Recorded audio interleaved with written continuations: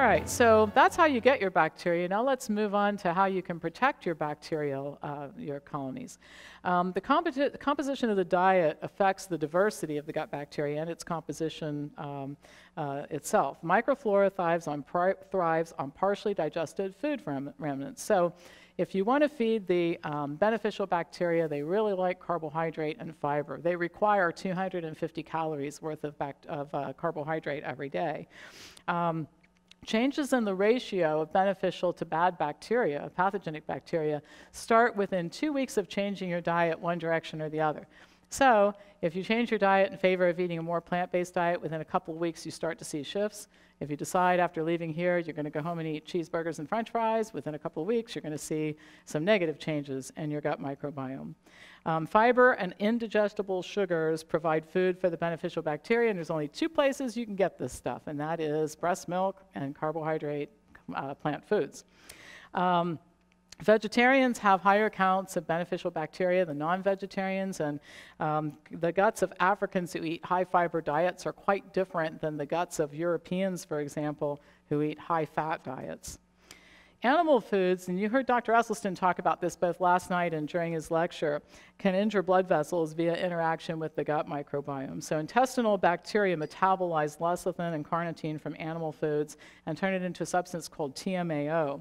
It promotes vascular injury. Increased levels of plasma TMAO were associated with a two and a half uh, times increased risk of cardiovascular events, even after adjustment for other risk factors like hypertension and smoking. People who consume a plant based diet manufacture TMAO even if they go crazy and eat steaks and take carnitine supplements. So if I were to go out to dinner tonight and eat a great big juicy steak, I still don't produce TMAO because I don't have the bacteria in my gut that will produce it.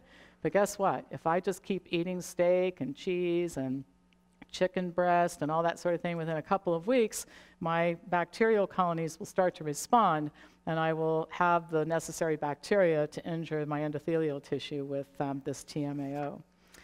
Um, very seldom do you see in the medical literature comparisons of vegans, legitimate comparisons of vegans, and one of the reasons is it's hard to find vegans to do a study with because so many vegans um, have not, they've stopped eating animal foods, but they're not necessarily eating an optimal diet. And that's one of the things we have a little bit of work to do, you know.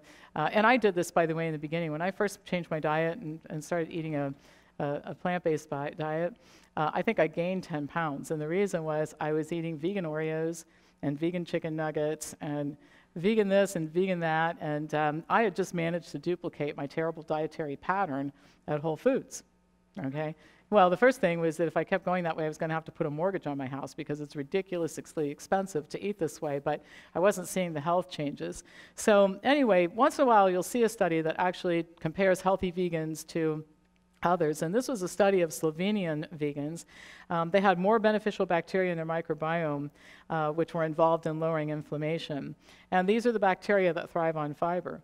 Fecal samples from vegans have lower pH than controls. Remember that low pH environment is what makes the pathogens really nervous and difficult to survive. It leads to, um, uh, and one example is like E. coli. Um, for some reason, we all have some of these pathogenic bacteria in our guts. A little bit of E. coli, a little bit of C. diff, but when those populations are kept really low, they don't cause problems. So the example I always use for people is um, how many people dust the furniture in their house? And then even after you dust it, if you look at it just right in the sun, there's still a little bit of dust. Okay, so no matter how much you dust, there's a little bit of dust, but if you stop dusting at all, you end up having to move out of your house, right? So, so you're always going to have a little bit of dust in your house, and you're always going to have a little bit of pathogens in your gut. You just want to keep the population under control. And I like this quote from the study. The vegan gut prof profile appears to be unique in several characteristics, including a reduced abundance of pathobionts and a greater abundance of protective species. Reduced levels of inflammation may be the key feature linking the vegan gut microbiota with protective health benefits. It doesn't get much more clear than that. All right. So um, it's important to protect your gut bacteria. Gut health is related to everything else. And so um, we could spend all day on diseases related to the gut. Here are some of the common ones, and this is why I have like 25 or 30 hours of lectures. But uh, bad breath, skin disorders, constipation, iron deficiency, reflux, asthma. People don't usually link asthma as being a gut disease, but it is related to gut health.